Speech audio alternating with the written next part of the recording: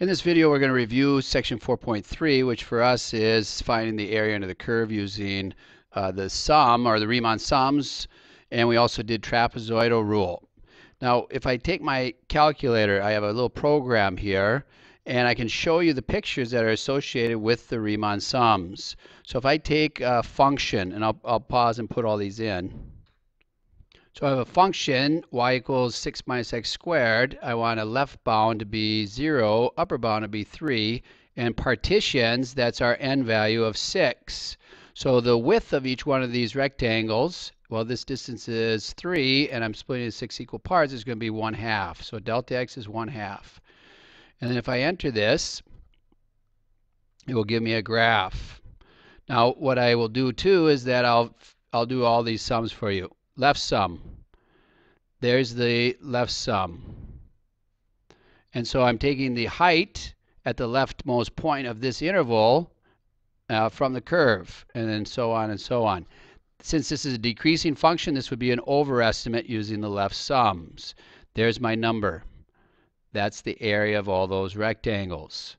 Now what I can do too is I can do the right sums. And notice that this one even goes underneath a little bit. So our area becomes 6.625. This area becomes a negative quantity. And so we subtract it off of all these other ones that we added together. This one we subtract out too. And then I can do the uh, midpoint. Notice the heights of these rectangles. So for instance, this one right here. If I take this midpoint x value right here, and find the height of the curve, that would be the height of my rectangle. This is not the trapezoidal rule. Midpoint is totally different than the trapezoidal rule. Trapezoid would average this value and average this value, which is not necessarily this value here. And so we get a midpoint sum. And then the trapezoid, and I'm just showing you the pictures really, trapezoid would uh, find the area this way, and we get another different value. Now what happens as these rectangles, this delta x goes to zero, or as we say, the number of rectangles goes to infinity. Well, then I would get a nice perfect fit under the curve. There's still gaps here under this trapezoidal rule, but we would get a, a nice tight fit if these widths would go to zero. And I can do that with something that's called the definite integral. So this is finding the area under the curve, which they, turns out to be area of 9. Okay? And so there's our definite integral. So this one, uh, this area would get subtracted off from this area because this one is below the x-axis. So this, we apply a negative quantity to the area. So that's kind of what we're doing. Um, how we would write this uh, equation for this curve this would be what we call the definite integral for that. My lower bound, we call this the lower bound of integration, is 0. The upper bound of integration is 3. And here's my function. I covered up with parentheses and I multiply by dx. Well, what happens to all this dx and all this other stuff that we're dealing with? Well, if you remember, we have the sum, i equal to 1 to n, of my rectangles. And they're going to be evaluated at different points here. So what I have is, uh, let me just call it f of ci. So I'm going to have a height for this rectangle at many different places times my width of my rectangles. And so as I make more and more rectangles, this would be the limit as n goes to infinity. You also could say the limit as delta x goes to 0. As delta x goes to 0, we don't call it delta x anymore, we call it dx. So this is the area of a rectangle. When I do my definite integral, I also do the heights from here and my widths from here. And so I'm still summing up. I call this the great summing machine. I'm still summing up area under the curve. But then this would be what we call the definite integral. How do we work this one out? Well, we take the antiderivative. This would be 6x minus x cubed over 3. And then we evaluate it from 0 to 3. Plug the 3 in first. And I'm just going to pause this. In. So in this portion, I plug in the 3. In this portion, I plug in the 0. I subtract the two quantities, and I get 9, which is exactly the same thing that our calculator told us. All right? So hopefully some of this stuff is coming together for you. This summation symbol turns into this smooth S because we're going as n goes to infinity, etc. Okay, so this just means the area under the curve from 0 to 3. Now if we go to our notes now, uh, back to here, what we have then is this situation, and this is what I just wrote out. This is probably a little bit better way that it is written. And so we're finding the area under the curve, and that's with the definite integral. Now, you can't always find the antiderivative, so sometimes what happens is that you have to draw a picture and do it geomet geometrically. If you know what this is, well, this is a circle with a radius of 7. And I shouldn't say circle, it's a semicircle because all the values are positive. So this is 7 and negative 7. So what I can do is say, oh, area under the curve, it's a semicircle. I can do that geometrically. So area is equal to 1 half pi r squared. And so then that would be 49 over 2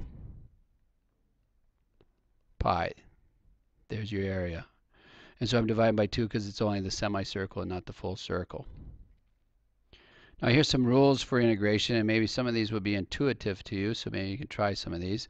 But if I take the area under the curve from A to A, what's the area of a line? Oh, zero. And then what if I reverse the limits? Instead of going from A to B, I go to from B to A of f of x. Well, what happens is if you go backwards, we actually get the opposite quantity as if I went from A to B. All right, and under area principles from your geometry days, I can take area one piece and add it to the area of another piece.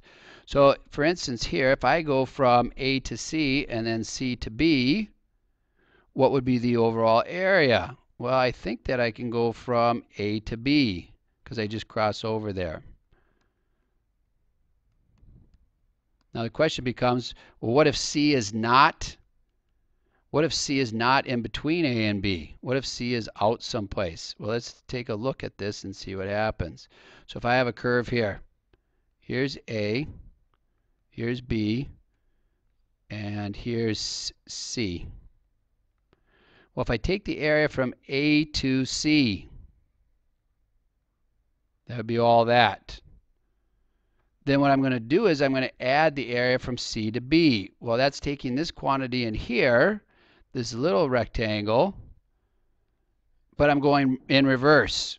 So what do I do with that? Well, I'm going to subtract that off. Well, if you can notice, that black area minus this green area turns out to be the integral from A to B. So this, I hope that uh, instructions or my explanation worked, but this works even though C is not even in between A and B, this works for all C as long as the function is continuous defined and all those kinds of things. Uh, from our derivative days, this number four, the constant just goes along for the ride. Same thing here, so I can take it out in front. I cannot do that with variables. You can never pull variables out. You can only pull constants out. Be careful with that. And then also I can take the integral of a sum, and that's the same thing as the sum of the integrals. So a to b of f of x. I need a dx on that one because I need the width of the rectangles, or I'm adding up the area, I should say. And then this one would be a to b of g of x dx. So the integral of the sum is the sum of the integrals. All right, let's apply our rules a little bit down here. So I give you some information, this one and this one. What if I ask what's the integral from 0 to 6 of f of x? Well, it's the area of this piece plus the area of this piece. You can try these two and pause and then come back and check your answers. What if I reverse the limits? What happens here? Negative 2. And then if I take negative 4 times some function, and it's 0 to 4, all I'm doing is I'm pulling out in front, so I'm just taking negative 4 times this 8. So I get negative 32. And this one, if I go from negative 6 to negative 4, what I have is uh, for this one, I don't have enough information to follow any of these rules. Just because I change the sign here doesn't change anything else. The curve of f of x might be totally different in this interval as compared to this interval. So we don't know that one. All right, moving on. Uh, here's some examples. I got this one written out, but I'll go through this. All this leads us to section 4.4, fundamental theorem of calculus. Number one, there's two fundamental theorems of calculus. Now, uh, we did a worksheet where we found that a position function taking the upper limit of the position function and then subtract out what happens when I plug in the lower limit of that position function, that will give me displacement. Well, that's the same thing as finding the area under the curve from A to B of my velocity curve. That leads us to the fundamental theorem of calculus where these two things are equal to each other. But instead of using velocity, I use velocity as the introduction because it's intuitive to a lot of you. We can translate this now over to any function where we have the integral from a to b of f of x dx. Once again, this is area, is equal to capital F, we means that it, this is the antiderivative of little f. It doesn't always mean that, but in this case it does. f of b minus f of a. I do not need the plus c with the definite integral because if I had plus c and then I had plus c over here, what happens to your c's? They would cancel out. So we don't deal with the constant of integration for the definite integral. All right, so if we do this, essentially we just take the antiderivative and then we evaluate from 2 to 3. What I like to do is I plug in the 3 here, 27 over 3 plus 9 minus 3. Then when I subtract, I'm going to subtract what happens when I plug in the lower limit. I like to put a square bracket. What this does for me is it reminds me, oh, you better subtract everything. So I need to distribute this value. So if I plug in 2, I get 8 thirds plus 4 minus 2. And I can find this. This is 31 thirds. So the area under the curve is 31 thirds from 2 to 3 of this function. Moving on, if I see the square root, I might want to rewrite that. 4x to the 1 half dx, integral 1 to 2. And if I take the antiderivative, this would be 4 raised to the 1 higher power, divide by 3 halves, which means multiply by 2 thirds. The 4 is already there. I put these together. Evaluate from 1 to 2. So this would be 8, 2 to the 3 halves over 3 minus 8, 1 to the 3 halves over 3. This equals, one of these twos come, come out, one of them can't, so 16 squared at 2 all over 3 minus, that'd be just 8 thirds. There's your answer. That would be exact. You can also get a decimal answer depending upon what they want. And this class, is always three decimal places. What's the antiderivative of secant squared for this next example? Well, that's the tangent because we know that the derivative of the tangent is secant squared. I do this from 0 to pi over 3. The tangent pi over 3 minus the tangent of 0. Now, sometimes when we plug in 0, we get 0. Sometimes we don't. So be careful. Don't just think that that turns to 0 all the time. But here the tangent of pi over 3 would be just square root of 3, and then this would be minus 0, so just square root of 3, because the tangent is 0. This one we want to rewrite. So if I rewrite this one, uh, I use the rabbit method. This and this, x to the 1 half, I subtract, so this would be x to the negative 3 halves minus 4, x to the negative 2. I haven't done any integration yet, so make sure you put the integral symbol in there, dx. And then so um, I take the antiderivative of each one of these pieces. x to the 1 higher power divided by negative 1 half, which means multiplied by negative 2, minus this piece here raised to the 1 higher power would be negative 1. So 4x to the negative 1 divided by negative 1. So that becomes plus. And I'm evaluating from 2 to 3. So this is equal to negative 2. I plug in the 3, so that would be square root of 3 in the denominator since it's negative, plus 4 over 3 minus, if I plug in 2, so this would be negative 2 over the square root of 2. And then I plug in 2 here, this would be 4 over 2. So this would be plus 2. Make sure you distribute this negative. I'll let you figure out what that answer is. Check it with your calculator.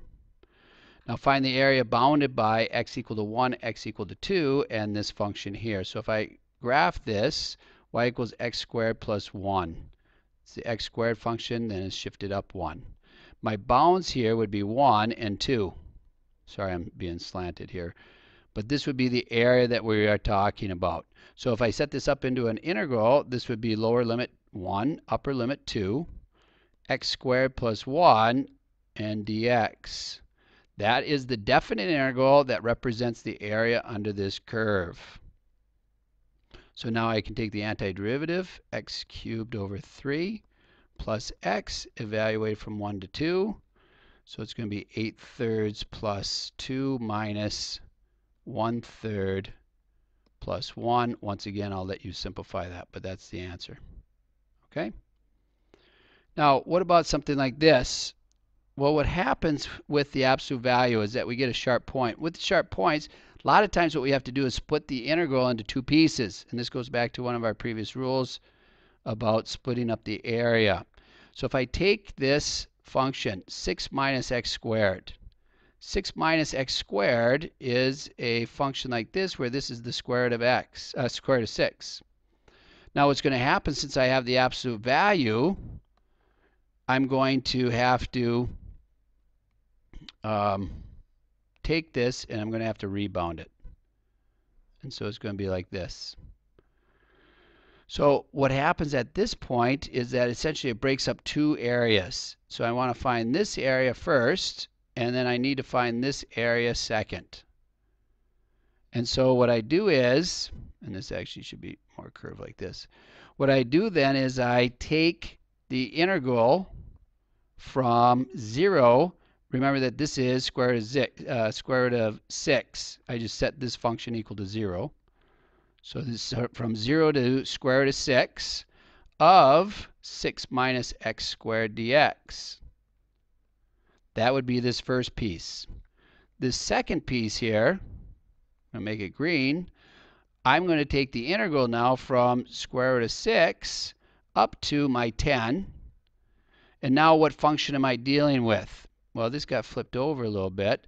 You really take the opposite of this function. So it's going to be x squared minus 6. I changed the sign of both. And that's going to be dx.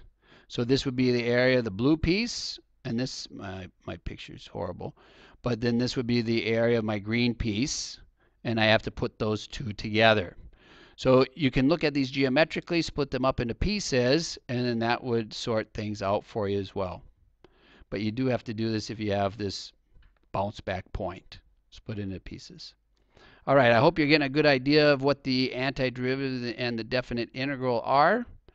And it's based on our Riemann sums, finding the area under the curve. And if we make these rectangles go to, the width go to zero, then we get the exact area under the curve, which just turns into finding the antiderivative and plugging in the upper and lower limits and taking the difference.